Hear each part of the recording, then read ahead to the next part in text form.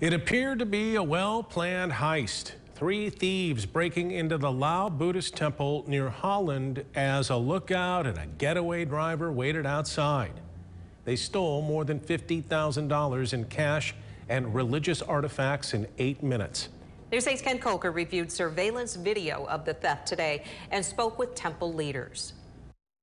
Surveillance video of the brazen midday break-in shows a woman in the parking lot out back appearing to pray while also acting as a lookout.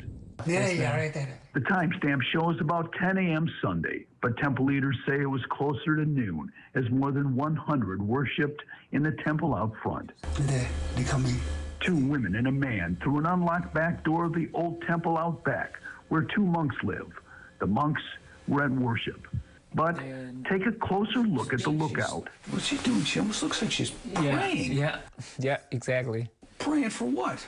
I don't know. Praying not to get caught? They have another theory that she is trying to look like a worshiper. Yeah, I think it's more a cover up. Like, oh, I'm here, I'm praying, because they know it's a oh. temple. Temple leaders say it appears they knew right where to go to the locked bedrooms of the monks. The money they stole included the monks' life savings. It's years and years of them saving up. They believe the thieves knew that the doors of both temples were always unlocked, allowing worshippers to pray at any time. To me, seem like they know what it is, what to do. It happened so quick. Temple leaders say they wonder if it's connected to recent thefts from Asian temples around the country. It's a very sacred place to us. I mean, what has happened, um, I think, um, put quite a toll on um, our community. I think we feel quite violated because it's sacred grounds, right? They say that they will lock their doors from now on. Do you think that's a, a, a hate thing, or is it just a was this just a crime of opportunity? I think it's more of opportunity.